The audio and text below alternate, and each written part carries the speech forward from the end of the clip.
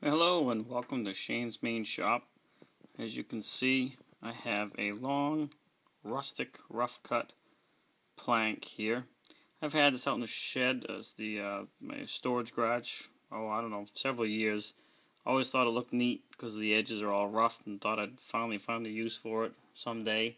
And I think I have. I am going to attempt to make a plank chair. So I've never made one before, but I've gone online, looked up some other people's um, interpretations of it, and I'm going to go ahead and see if we can turn this into a rustic plank chair. Stay tuned. Okay, as you could see earlier and also now, I got it set up on my um, row of saws here that I use to do a lot of my cut-off stuff, depending on what I'm doing, depending on what saw I use. But they're all, all these saws, the tables are lined up uh, height-wise, and the fences are all lined up so I can slide back and forth and use whatever saw I want. Um, this here is an old radial arm saw. It's it's kind of uh, seen better days. So I use this for the rough cutting.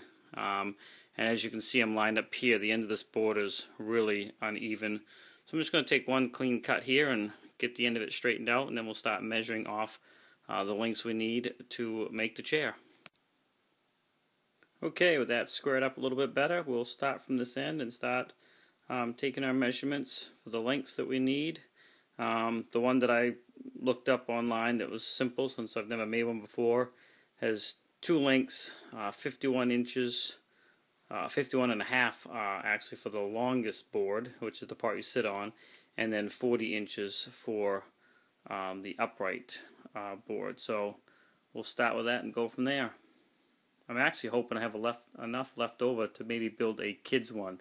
There's not enough in this board to build two, uh, full size, so maybe I can build a little kids one too and have like a little matching set.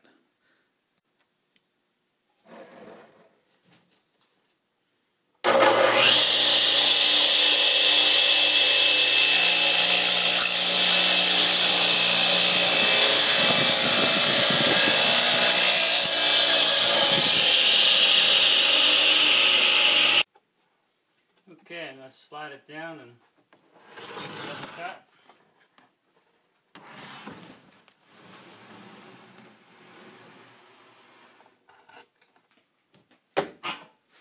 Let's see, there's my mark right there.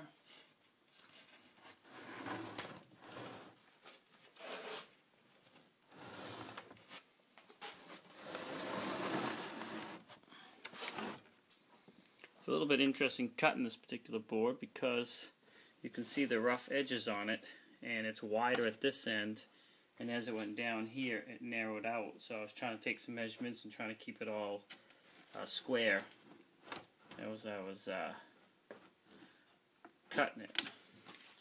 So measuring, you know, out from the fence in a couple areas to try to keep it square as I can. But part of the charm of it would be the rustic look anyway. So we got our other line right here we're going to cut. This will be the seat area right here with the plank going back. You'll see once it's assembled, hopefully, unless I do something wrong. And this will be the back part that you would actually lean against.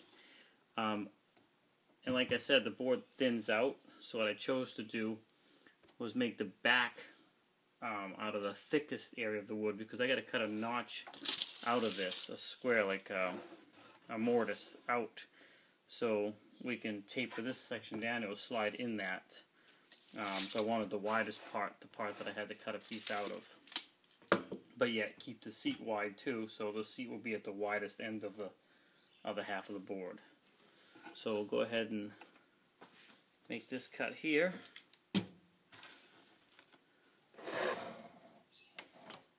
Lined up alright.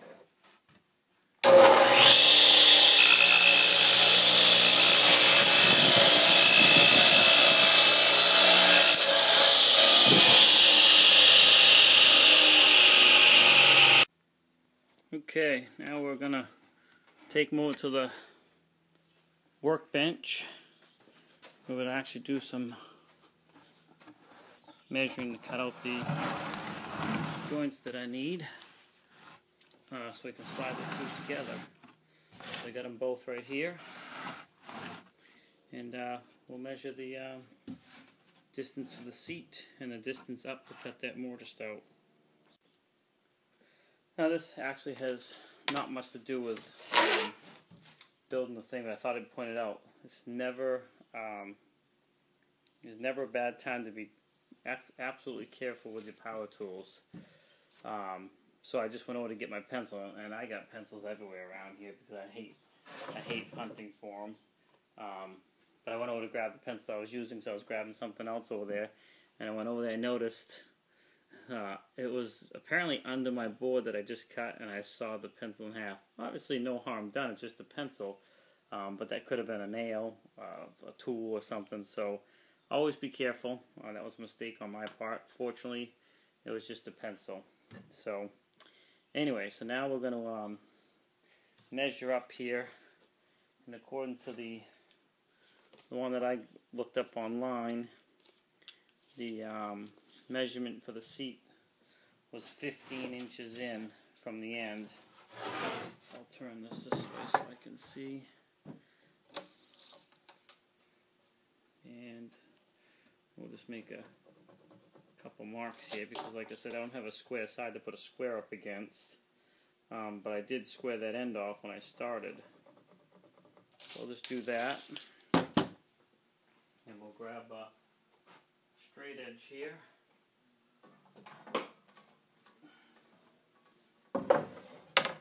You know, normally you could just put your square up against there, but with this rough, rough wood, you can't do that.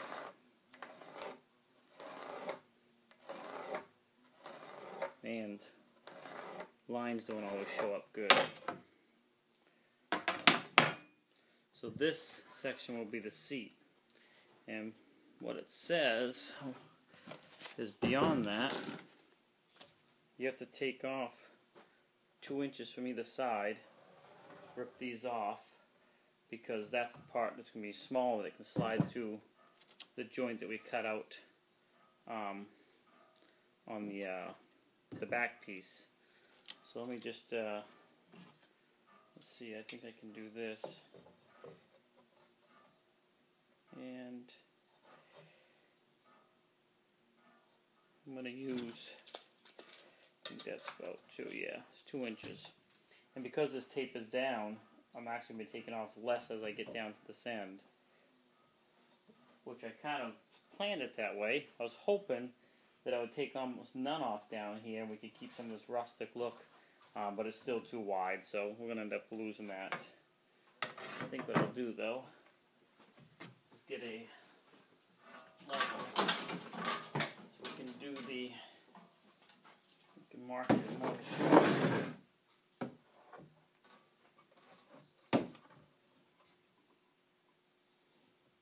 So I'm just lining up with my line here that where my seat's going to be and I'm putting this right um, even with my edge.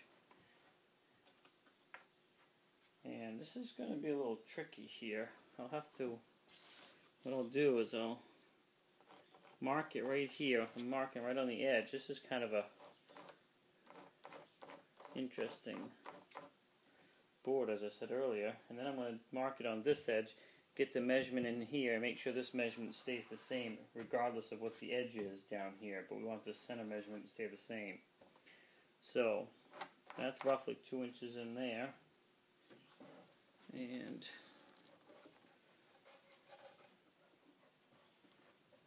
put that right about there. Got a mosquito in here. That's roughly two inches. Double check, like I said, measure twice, cut once, especially with a board like this, I can't, you know, this is, I'm not going to find another one of these anytime soon. I got this for free. Um, I was cleaning out an old barn for somebody, whole bunch of wood, and this was one of the big long boards, and I'm like, I bet I can find use for that someday. Sure enough, seven years later, here we are, finally using it. So that's seven and a half inches wide. The other thing we want to make sure is the piece that we're going to be cutting out is wide enough to accept the seven and a half inch wide um, board going into it and still be strong enough on the edges. I'll show you that's on the other board, the back. Um, actually, we'll just double check that right now before I do any cutting. So let's move this off the side. So we need about seven and a half inches wide in this board. It's still about a about a foot wide. So if I do seven and a half inches, oh, right there roughly, and right there. I think what I'm going to do is go seven inches.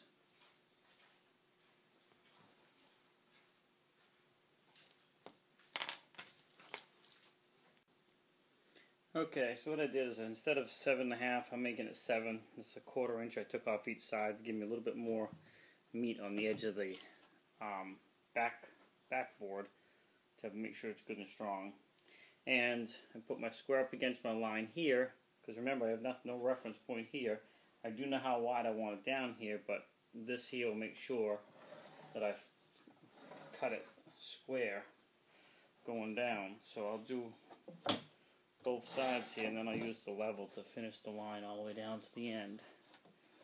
And we'll see where it comes out at the other end because what you think might be square by eyeballing it is not going to be. You see I'm right off the edge here into this rough stuff.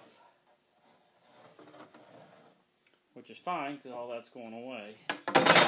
Alright, level. We got enough of a line now we can follow it the rest of the way.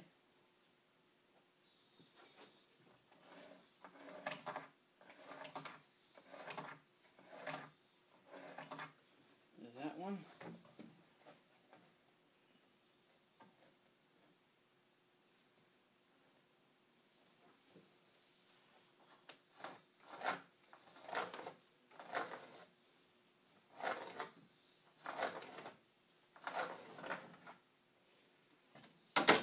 Okay.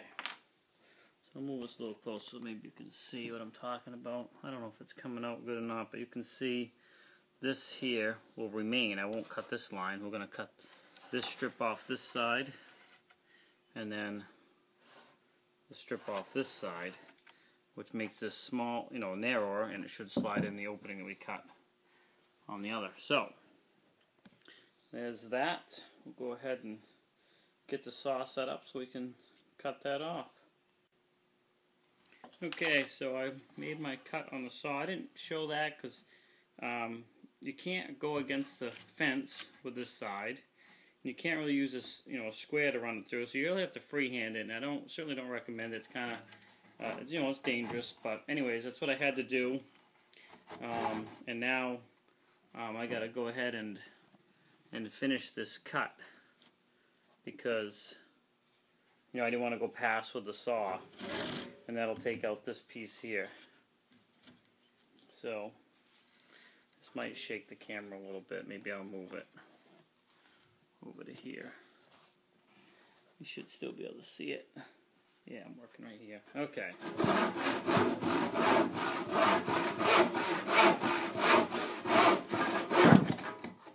Okay. That's that one. So, that uh, takes one side out of it. We'll do the other side real quick and we'll uh, show you what it looks like.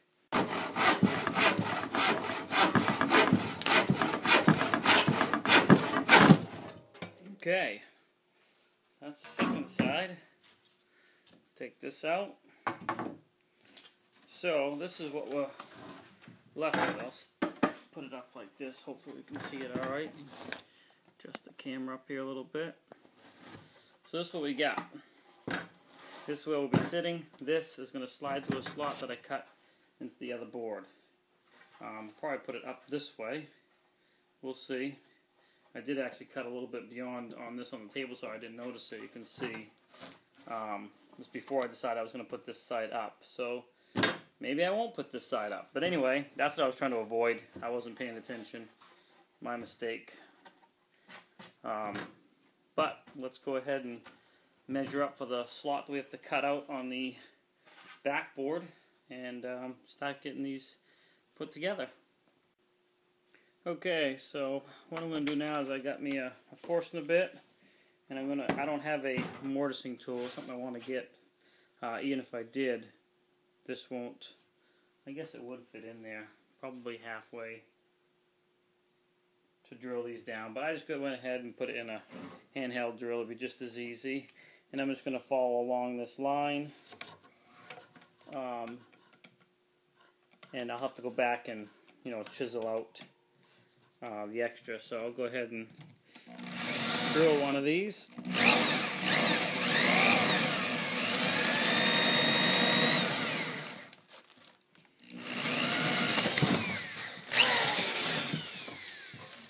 So yeah, I'm going to go ahead and go right along the line and do that and um, show you when we're finished, what we have.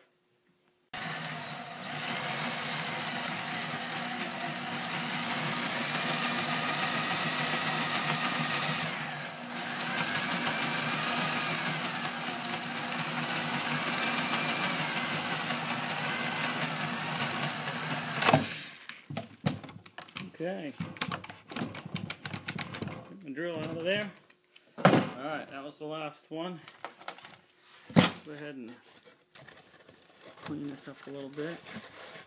Didn't get too much tear through on the back side, which is, was trying not to push really hard on the drill uh, when I was getting close to the end. So now I'm just going to go back and square this all up with the chisel and file so it's prepared to receive um, this here. So what's going to happen, hopefully you're kind of getting the idea of it now, is once everything's all cleaned up, sorry about the shake, this will eventually go down in here and form the uh, chair. So, with that, we'll uh, keep moving forward on it. Thanks for watching thus far. Okay, so that should just about finish it up. As you can see, whole, I'm not a hand tool person, and this requires hand tool stuff. Like I said, it's my first one, I'm just playing around with this old plank that I've had, um, but I pretty well got it squared up. Uh, a couple tools I use, obviously a chisel, uh, a file, a rough file, and a rasp, also to, you know, to do some of the rough stuff. Um, but anyway, uh, I've had to, you know, test fit it here a couple times but it looks like uh, we have it. So let me just show you here right quick, but then I'll change the angle of the camera and we'll get it slid down in. But probably can see it. That goes right down in there. Got to do you know a few little adjustments here and there, but hang on one second and we will uh, show an angle we can slide this right in. So um, remember the the measurement up to here was like I think 15 and a half um, on this one that I'm doing and that's the short section obviously. So that goes towards the ground. This will ultimately be the board you lean against. And then of course the part you're going to sit on slides in. Now I got two ways I can do this. I can either have the rough side up but possibly afraid of splinters. I might even run this through the planer and smooth it up a little bit. But let's just do a little fit. And I'm going to put the, um, the better side up. The only thing I don't like is you see my overcut here. But, like I said, first one, just playing around with an old plank. See if we can get that to go in there. First, I actually put it in once, and it was really snug, but I didn't do any sanding, so it kind of, we know it's going to wear into it over time. So that's it right there. So you can get a different view. So it's kind of locked into each other like that and you know to do a better job I can go back um, you know a more finished job and cut this angle because when these are together there is a slight angle here so you can cut that. You can also cut the angle to meet the floor on the front and the back leg so your angles meeting the floor a little bit better. But essentially that's it. Kind of tight area here in the wood shop on this side I can sit down in here and just kind of show you what it looks like. And this, a lot of my saw was made out of 2x stock, but this one's out of, you know, rough cut, so it's one inch thick. It's true one inch, but it's very rugged, even one inch. Um, probably for me, legs a little little long. I can't really reach. I can swing my legs, but it's very comfortable. I can also cut off. You can you can mess with the measurement of these if you want this a little bit short. If you're really short legged up here, you can shorten this up so it's not cutting into you. If you have short legs here, you can shorten that up. Or, of course, if you're a tall person, you can lengthen all of this. Um, so it really depends on what you want to do. But there's my rustic plank chair. Alright, well, thanks for watching. Check out my other videos on YouTube. Um, and this is another project from Shane's Maine Shop. Thank you.